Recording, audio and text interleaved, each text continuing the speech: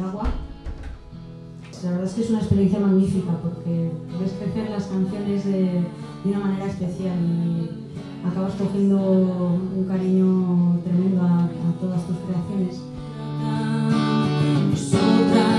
Para mí verlas, verlas crecer en el estudio ha sido, es que no, no tengo palabras.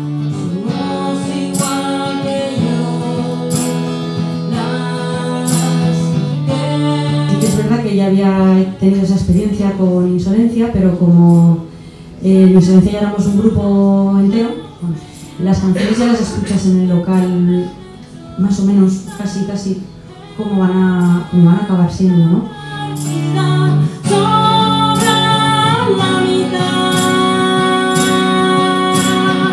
Como quiero ser agua, la historia para mí ha sido distinta, porque yo tenía las canciones con una instrumentación en mi cabeza, que, claro, pues bueno, no es lo mismo estar con instrumentación en la cabeza que, luego verlo en la realidad.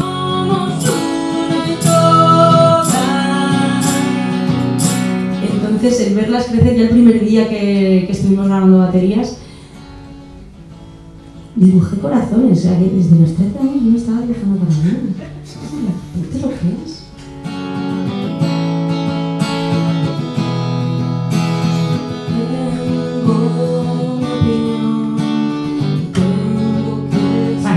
Lleva una emoción en mí, con una cara de gilipollas, con perdón, todo, todo el santo verano, una sonrisa de aquí a aquí.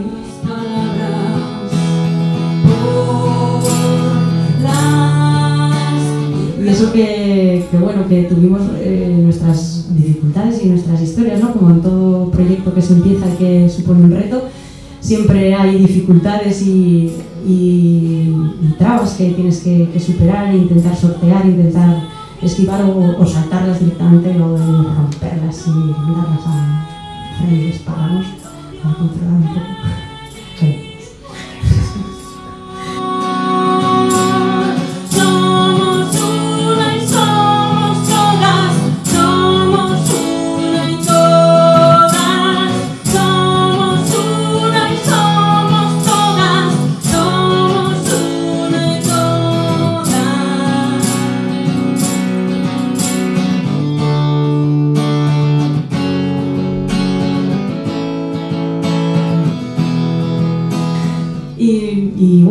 Pues como le estaba diciendo, ¿no? fue, todo, fue para mí toda una, experiencia muy, muy positiva y muy, para mí me supuso un, crecimiento personal.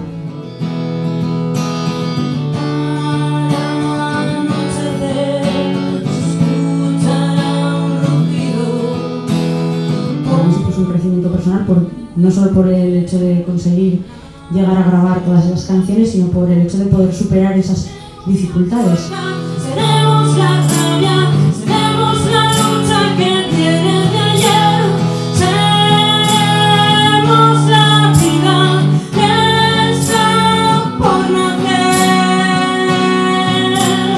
Es esa persona que nos acompaña en el día a día, que tenemos eh, siempre en la mente, porque la queremos y porque la amamos nos ayuda mucho, muchísimo, aunque solo sea con su presencia. Santo.